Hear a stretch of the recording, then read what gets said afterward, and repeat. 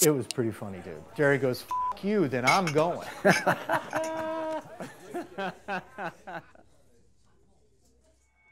we got snaked on it, unfortunately. We knew what we were up to. Oh, fuck, did we know what we were up to? It's hard to say what we all did then, but everyone was, I'm sure, a first ascent anywhere off the road.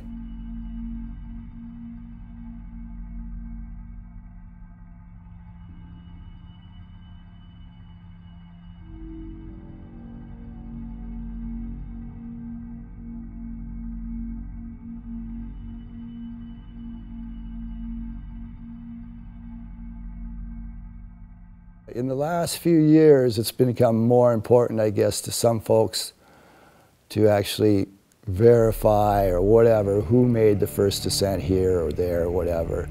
And one of them that I know I did first that has been questioned at times and, and stated other people did it, Eric and Trevor did it first, and that's, that's the pontoon, I guess.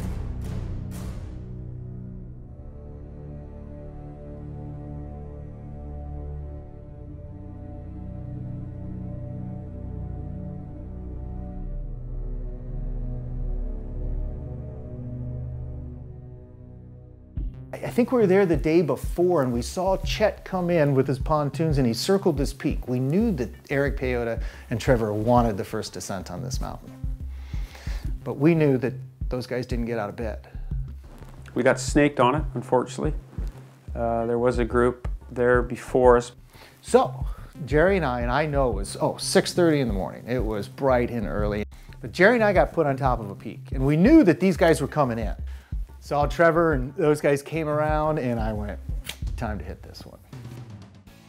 Soon as I got over the just the crest of it, the 50 yards of ice, man, it turned into knee deep, thigh deep powder. And it was a fantastic run. You know, I did so many first ascents, I don't even count them all, but it can't be telling other people that Trevor and Eric did this thing first.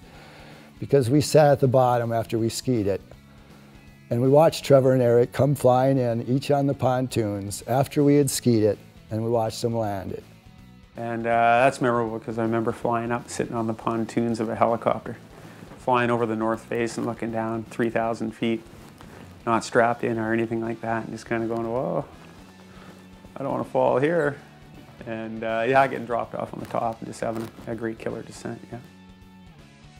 And that, I guess that was the only reason I wanted to, you know, make a thing about Pontoon Peak. But the, all the other ones, I could care less who skied what or whatever first. There was just so many other great days. Uh, you know, every day was a memorable moment up there. Really, it was.